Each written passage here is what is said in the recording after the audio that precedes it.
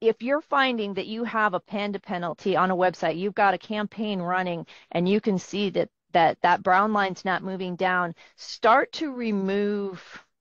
things and try to hone things to individual pages because, and try to re, re, Tighten it up. try to try to tighten it up rather than having it be super complicated